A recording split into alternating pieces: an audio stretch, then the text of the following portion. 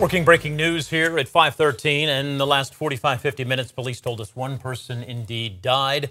This was after a construction truck hit that person. This happened in Centerville on Revere Village Court. That's right near Main Street, just after 3 p.m. NewsCenter 7's Brandon Lewis is live on scene now. And Brandon, what can you tell us about what happened there this afternoon?